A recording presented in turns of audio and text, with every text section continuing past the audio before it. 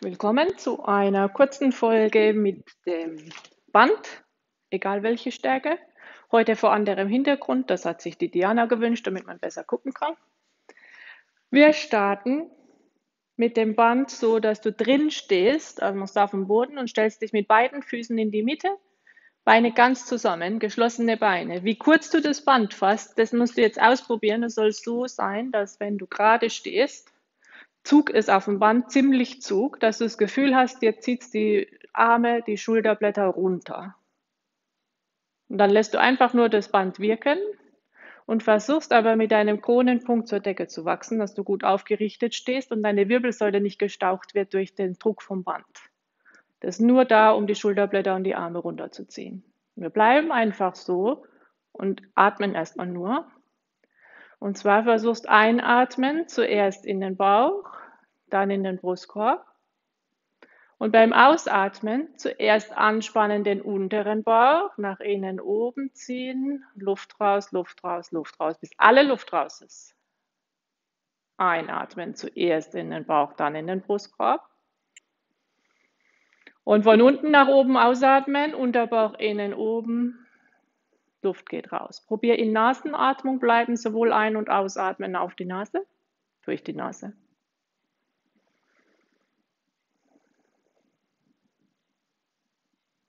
Alle Luft raus. Hinfühlen, dass aufgerichtet bleibst, auch beim Ausatmen. Wachsen durch die Krone permanent.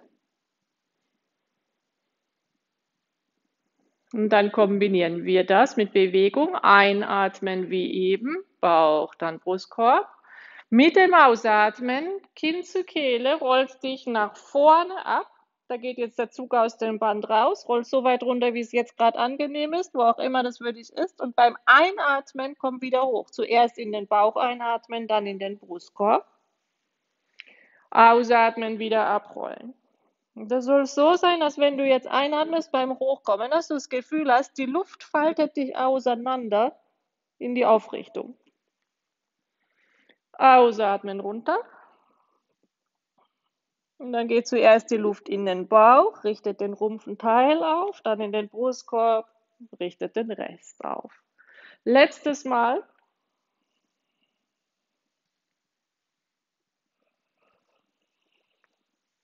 Und dann bleib oben, gut aufgerichtet und ziehst die gestreckten Arme rückwärts hinter dich. Ich drehe mich seitwärts, dass du es besser siehst. Und zwar bringst du die gestreckten Arme nur so weit nach hinten, wie du spürst, dass deine Schulter geöffnet bleibt vorne. Dass du, wenn du die Schulterblätter so nach vorne machst, kein Buckel. Auch hinfühlen, ob deine Wirbelsäule stabil bleibt. Man tendiert zu Hohlkreuz machen oder den Kopf nach vorne schieben.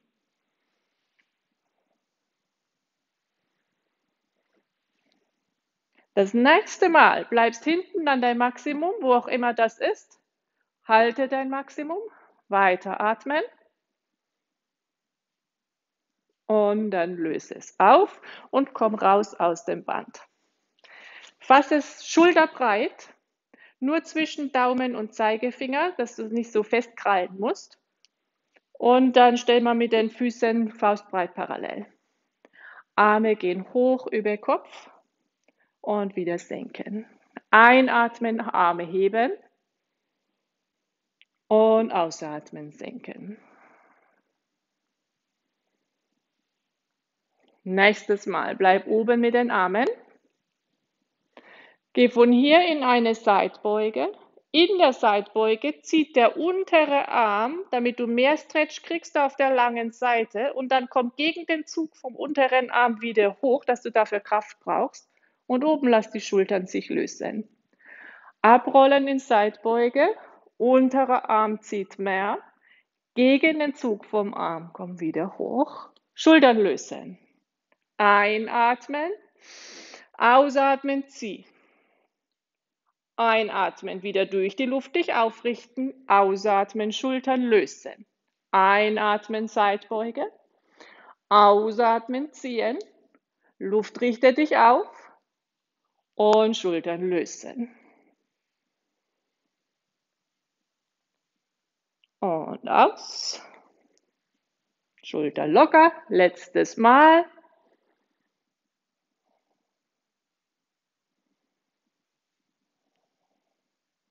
Und Arme senken.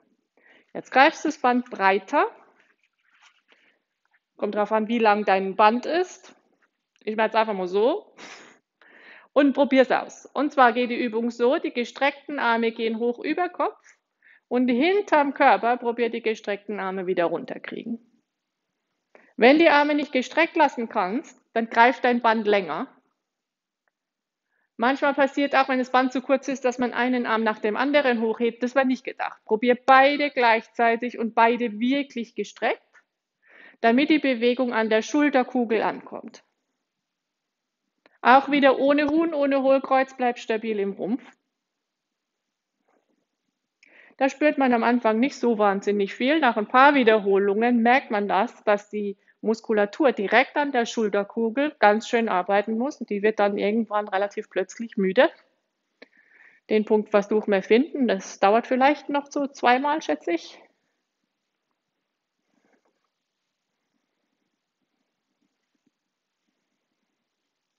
Noch eins.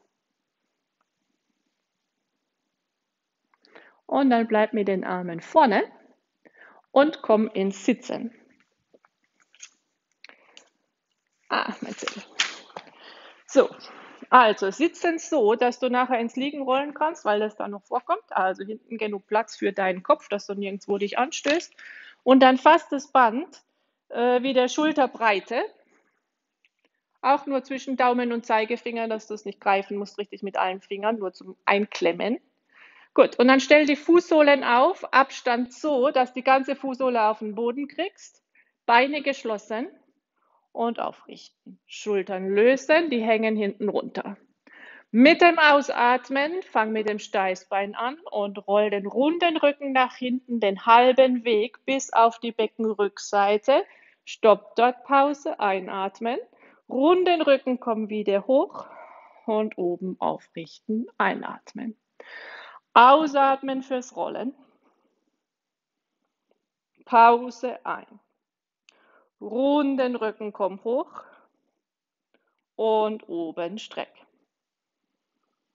Dieses Mal bleib unten auf der Beckenrückseite. Stell dir vor, das Band wäre wie ein Stock und du drehst das Band so, dass das diagonal steht. Also ein Arm hoch, einer runter, wieder parallel zum Boden, in die andere Diagonale, hin und her. Hinfühlen an deine Bauchmuskulatur, vielleicht mach die Augen zu, dass du es besser spürst. Wenn man die Arme in die Diagonale bringt, spannt die eine Bauchhälfte mehr an, andere Diagonale die andere Bauchhälfte. Einfach nur durch diese leichte Gewichtsverschiebung von den Armen. Sicher sein, dass dein Brustkorb sich nicht bewegt. Das ist nur Armknochen.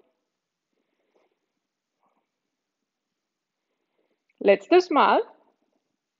Und dann komm hoch. Machst das Band über die Füße drüber. Fass es kurz, jetzt musst du es richtig greifen.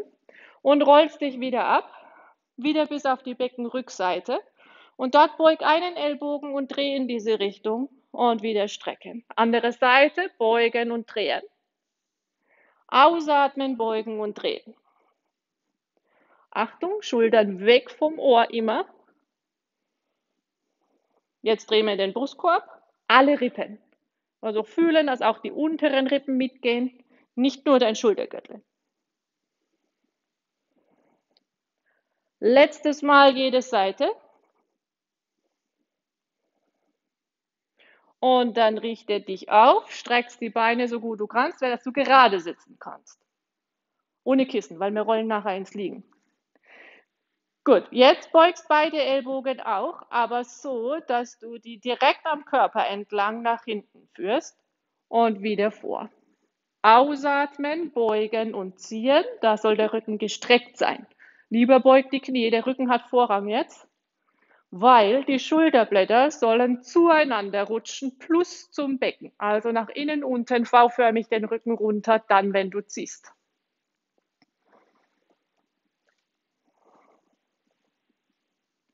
Kombination, ist die Arme gestreckt, rollst dich ab ins Liegen, ein Wirbel nach dem anderen. Einatmen unten, ausatmen, roll wieder hoch, und dann oben, wenn dich aufrichtest, ziehst wieder die Ellbogen nach hinten, spür den geraden Rücken, Schulterblätter innen unten. Arme wieder vor dich runden vom Steißbein her und ein Wirbel nach dem anderen abrollen. Und wieder rund, komm hoch.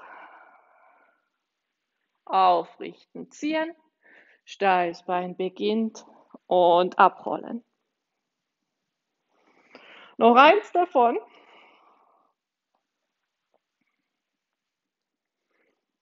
Und dieses Mal, wenn du unten bist, im Liegen, bleib dort. Beug die Knie und holst die Knie zur Brust. Und dann müssen wir ausprobieren, wie kurz wir das Band greifen müssen. Es soll so sein, dass du die gebeugten Arme mit dem Ellbogen an deiner Seite auf die Matte bringen kannst. Mit breiter Schulter. Und von hier aus streckst beim Ausatmen beide Beine nach vorne. Einatmen, beugen. Luft raus fürs Strecken. Noch eins so. Dann machst du zwar das gleiche mit den Beinen, aber Kopf- und Schultergürtel in der Luft. Die Ellbogen drücken trotzdem runter, dadurch kannst du Hilfe nehmen, hoch zu rollen. Ausatmen, Beine strecken. Einatmen, beugen. Schulterblätter blieben in der Luft, idealerweise. Und dann probieren wir nur ein Bein nach vorne strecken. Das heißt, das eine bleibt dann in Stuhlposition Überträgst das Band auf einen anderen Fuß, streckst nach vorne. Beobachten dein Becken, jetzt bist du hochgerollt. Das sollte nicht ins Schaukeln kommen. Jetzt auch nicht da an der Position, wo du den Übergang machst, von dem einen Fuß ins Band zum anderen Fuß ins Band.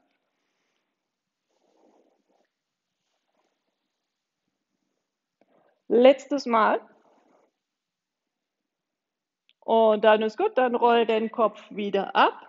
Und dann stellst die Füße V-förmig, also ja, so ein V mit den Füßen, in das Band rein. Da musst du das ein bisschen auseinander machen, dass du Fläche hast. Die Zehen sollen in dem Band drin stehen, der Vorfuß.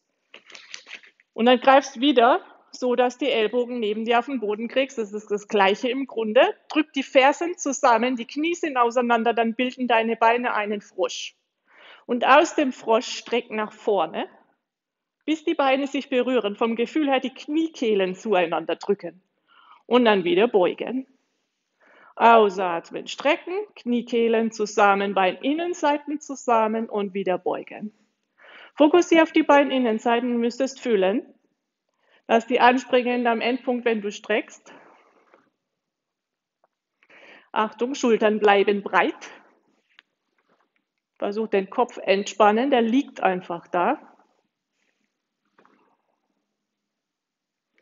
Und das nächste Mal bleib gestreckt mit den Beinen.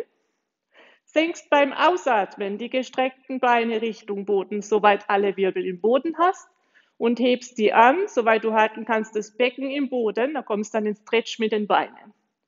Senken, alle Wirbel in der Matte. Heben, Becken in der Matte. Ausatmen fürs Senken.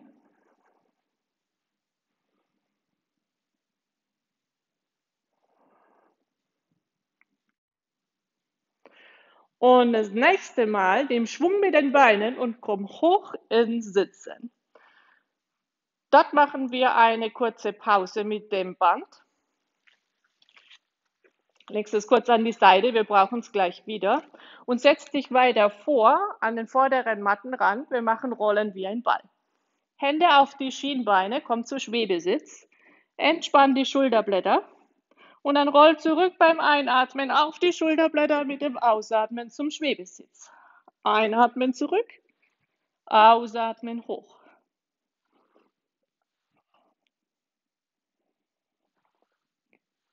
Kombination.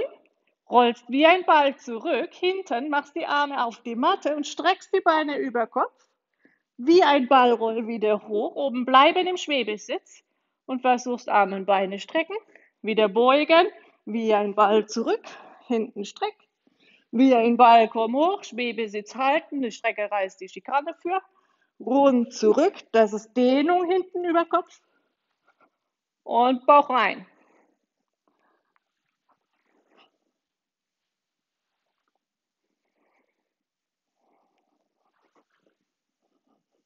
Letztes Mal. Dann stell die Füße auf, roll dich ab ins Liegen, finde wieder dein Band. Und machst es zwischen die Hände, so dass das Band ungefähr wieder Schulterbreite hat, ein bisschen breiter. Und greifst wieder mit Daumen und Zeigefinger, die anderen Finger bleiben alle lang. Nimm die Schultern weg vom Ohr, Nacken lang und stellst die Füße auf, faustbreit parallel. Variante von Brücke. Mit dem Ausatmen roll hoch in die Brücke. Wenn oben bist, senk die Arme nach vorne und dann ziehst mit den Händen, praktisch mit der Kleinfingerkante runter zum Fußboden. Da geht die Schulter noch ein bisschen mehr auf. Schieb das Becken in das Band und dann wieder lösen, abrollen bis ins Liegen, schulterbreit. Ausatmen, roll hoch bis das Band dich berührt. Ziehen beim Einatmen, schieb das Becken hoch, dass die Beinrückseite in den Hintern spürst, Schulter auf. Und wieder abrollen, ausatmen. Unten ein, Becken locker lassen unten. Ausatmen, komm wieder hoch. Und ziehen und ins Band drücken. Und allmählich zurück.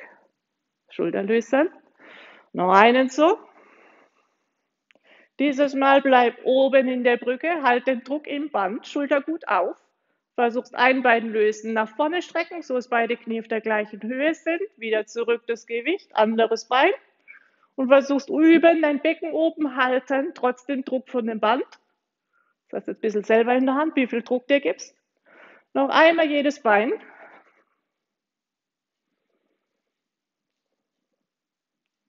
Und dann roll wieder zurück und Arme hoch zur Decke.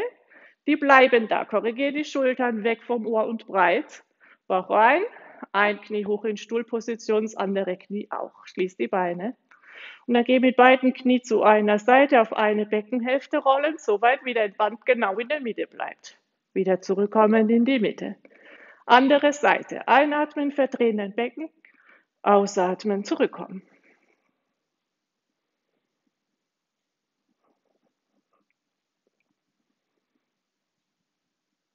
Dann bleib in der Mitte. Rollst hoch mit Kopf und Schultergürtel, dass die Schulterblätter in der Luft hast. Jetzt gehen die Knie zu der einen Seite und dein Brustkorb samt Band zur anderen Seite. Alles wieder in die Mitte zurück.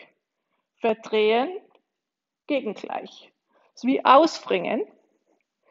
Die Verdrehung ist jetzt an der Taille. Wenn du ein Handtuch wärst, ist das die Taille jetzt die Stelle, wo das Wasser raustropft. Ausbringen. Noch eins. Und dann ist gut, roll zurück ins Liegen. Dreh den Kopf rechts, links, dass dein Hals wieder entspannt. Machst den Kopf überhaupt bequem, der bleibt jetzt so. Und wir stellen ein Fuß ins Band rein. Das andere Bein auf dem Boden ausstrecken. Und die Ellbogen wieder direkt an deiner Seite auf die Matte drauf, mit Schulter auf. Und dann streck dein Bein hoch zur Decke und machst ein paar Beinkreise. Gib das Gewicht vom Bein ab in das Band. Und jetzt gehst mehr auf Tempo. Große Kreise flott und trotzdem stabil liegen mit dem Rest des Körpers. Dann wechsel die Richtung.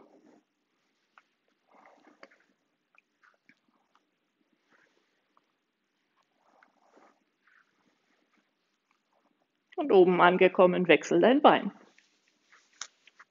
Unten ausstrecken, sehr sicher, dass das alles auf der Mitte liegt hier unten. Und dann kreisen, wieder wie eher groß und flott, weil jetzt hier bei der Variante der Fokus ist, dass man ruhig liegt mit dem Rest vom Körper und trotzdem einen großen Beinradius hat. Und es geht gut mit dem Band. Richtung wechseln.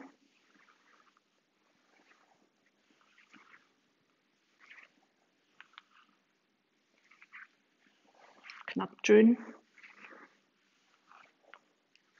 Letztes Mal. Ende mit dem Bein oben. Hol Schwung und komm hoch zum Sitzen. Band hat Pause. Wir gehen in äh, Seitstütz. Und zwar so, du stützt auf dem Unterarm. Die Beine sind gestreckt. Jetzt musst du das alles arrangieren, orientier dich an deiner Mattenkante, Teppichkante, was auch immer da ist. Ellbogen, Becken, Beine parallel. Gut. Und dann lässt dich erstmal einsinken auf deine Stützschulter, dass die zum Ohr rutscht und beim Ausatmen drück dich weg von der Matte, dann rutscht die Schulter weg vom Ohr und du müsstest Anspannung spüren, die ganze Seite runter. Mach mal die Hand dran an die unteren Rippen. Einsinken und ausatmen, komm hoch. Jetzt müsstest du unter der Hand spüren, wie die Muskulatur anspannt. Und dann bleibst du natürlich so und lass die Hand so, weil dann spürst du, wenn du da locker lässt. Und dann machen wir ein bisschen Bein. Das obere Bein auf Beckenhöhe heben. Vor und rück. Ausatmen vor. Einatmen rück.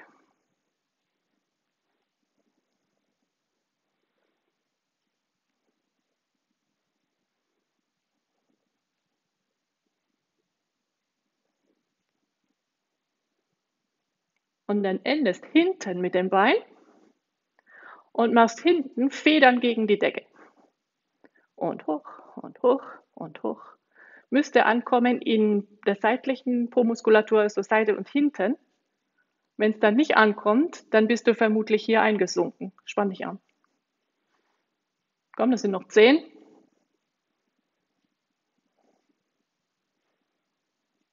Und dann ist gut. Dann schließ die Beine. Jetzt stellst die Füße voreinander. Das obere Bein steht vorne in Schrittstellung. Das heißt, das, der obere Fuß steht auf der Fußinnenkante und das hintere Bein dahinter auf der Außenkante. Korrigiere deine Schulter, nicht einsinken. Versuchst anheben dein Becken, dass du jetzt auf den Fußkanten und auf dem Unterarm stehst. Der freie Arm ist zur Decke.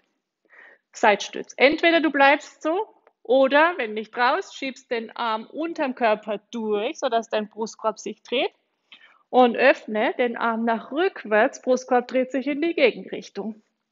Jetzt dreht sich der Brustkorb um deinen Stützarm. Noch eins.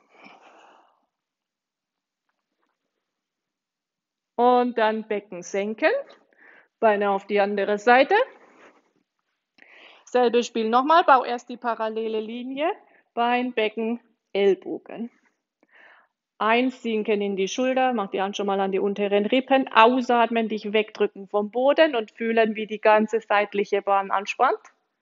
Wieder einsinken, ausatmen, komm raus.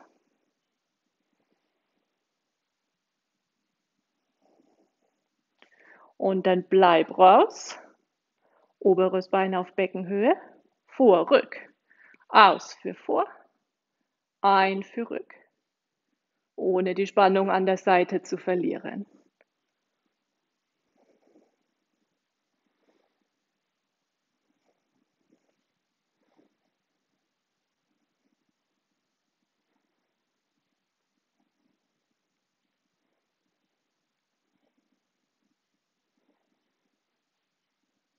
Letztes Mal Ende hinten.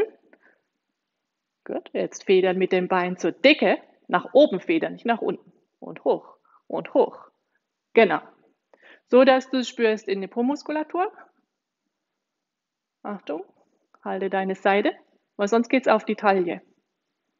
Das ist halt eine andere Muskulatur, ist im Prinzip nicht schlecht, aber ist halt was anderes. Jetzt wollen wir ein bisschen Hintern haben. Dann sind es noch zehn. Noch fünf. Und dann ist gut. Dann schließt die Beine. Schrittstellung. Oberes Bein steht vorne auf der Innenkante vom Fuß. Das untere Bein dahinter auf der Außenkante vom Fuß. Korrigiere deinen Stütz. Lass mal die Hand dran. Fürs Becken hochheben. In eine Linie Seitstütz. Arms zur Decke. Entweder halten oder du probierst die Rotation unten durch. Einatmen, öffnen nach hinten und ausatmen nach unten durch. Noch eins davon. Und dann ist gut. Senk dein Becken ab. Nimm dein Band wieder zwischen die Hände. Wir machen eine Bauchlage. Ich drehe nur ein bisschen, dass man besser gucken kann. Und zwar greifst du das schulterbreit wieder zwischen Daumen und Zeigefinger und die Arme sind nach vorne. Die Beine kannst auch auseinander machen, so breit wie die Arme auseinander sind. Und dann bügel dein Becken flach in die Matte. Und schieb die Hände richtig gut weit nach vorne, bis die Schultern zum Ohr hast. Und dann beim Einatmen komm hoch mit Kopf und Brustkorb und dabei zieht die Schulterblätter den Rücken runter. Da schleifen die Hände am Boden entlang und mach nur kleine Rückbeuge, nur oberer Rücken. Und wieder abrollen. Einatmen, oberen Rücken in Rückbeuge bringen, Schulterblätter runterziehen. Und dann bleib in dieser kleinen Rückbeuge vom oberen Rücken hebst an einen Arm, dabei dreht sich der Brustkorb ein bisschen in die Richtung vom hebenden Arm und wieder absenken. Andere Seite. Das heißt, wir bringen das Band wieder in die Diagonale, so ähnlich wie Anfang der Stunde, nur jetzt mit hohlem Rücken, vorhin war es mit rundem Rücken. Einatmen, wenn du hebst, das ist Rückbeuge mit Rotation.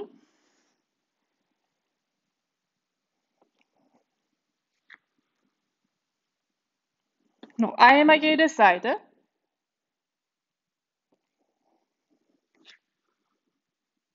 Und dann bleib unten und bring das Band nach hinten über einen Fuß und fangst ein wie Lasso. Und nimmst beide Bandenden in eine Hand und ziehst die Ferse zum Hintern, damit du Dehnung kriegst auf den Oberschenkel. Dafür machst du jetzt mal die Beine zusammen. Das Becken ganz flach in die Matte. Das ist jetzt der wichtigste Teil, dass du das Becken flach runterdrückst. Die äh, andere Hand geht unter die Stirn. Und jetzt drückst mit dem Unterarm vorne auf den Boden und äh, hilfst da hochkommen in wieder kleine Rückbeuge. Und dann wieder abrollen. Einatmen, hochkommen in Rückbeuge. Mit der anderen Hand ziehst die Ferse permanent zum Hintern, dass du im Stretch bleibst, auch dann, wenn du in die Rückbeuge kommst. Nächstes Mal bleib oben in der Rückbeuge, hältst die einfach. Und jetzt versuchst mit der Ferse am Hintern das Knie hinten anheben und senken. Das wird nicht viel gehen. Wenn du dein Becken richtig flach in den Boden drückst, kriegst das Knie vielleicht so zwei, drei Zentimeter von der Matte weg. Schon okay, das ist wenig, macht nichts. Hast die Ferse beim Hintern. Du wirst spüren, dass die Beinrückseite ziemlich anspannt. Die muss ziemlich arbeiten. Zieh die Ferse. Plus du hast Stretch vorne am Oberschenkel. Oh, dann bleib in der Rückbeuge. Meine wurde schon zu klein. Oh, noch eins. Dann wird es zittrig.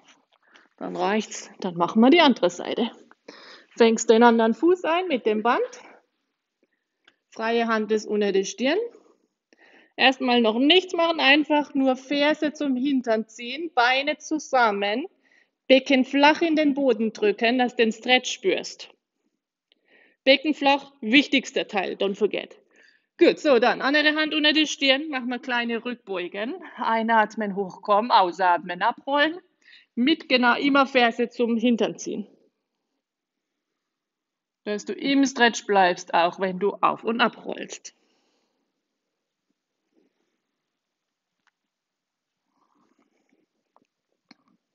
Oben bleiben nächstes Mal, halten. Und dann hebt dein Knie an und senken. Achtung, Becken muss im Boden bleiben, auch wenn da nicht sonderlich viel passiert. Drück das Becken gleichzeitig runter, wenn du das Knie hebst. Da mogelt man gern, weil man hätte gern, dass das Knie super hoch geht. Knie heben, Becken runter und Rückbeuge bliebe. Und zieh die Ferse zum Hintern. Noch zwei Stück. Boah, zieht das schon. Und dann ist gut. Komm raus aus dem Band. Band hat fertig, leg's weg und nimm die Hände unter die Schultern. Stütz dich zurück und setz das Becken nach hinten auf die Fersen und lässt die Arme so weit vorne wie du kannst. Von hier hebst das Becken wieder an. Dadurch kommst du über Vierfüßler, schieb dein Becken nach vorne Richtung Hände Jetzt gehen wir in große Rückbeuge, öffnen deinen Rücken und dann sitzt das Becken wieder nach hinten. Ausatmen, wenn du bist in der Rest Position, also hier, wo du auf den Fersen sitzt.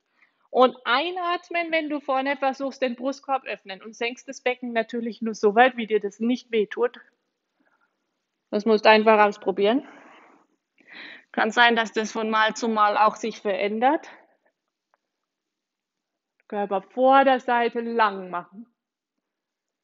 Im Prinzip musst du auseinander dehnen lassen, die Muskeln an der Vorderseite, also vorne Brustkorb, Bauchmuskeln, Leisten. Kannst du es auch vorstellen, als wäre das ein Gummiband, was sich auseinanderzieht. Lang, lang, lang. Und dann ist gut. Dann bleib hinten, atme nochmal in den Rücken, in die Stelle, die vielleicht noch ein bisschen zwickt. Und dann stell die Füße auf auf Zehenstand, bring die Hände näher, dass du die Knie heben kannst in Hocke. Und von hier streck deine Beine fast nicht ganz, dass du nochmal hängen kannst mit dem Oberkörper. Atme alle Luft raus und dann mit dem Einatmen faltest dich wieder auseinander, ganz hoch in Stand. Und das war's für heute. Bis demnächst. Mach's gut.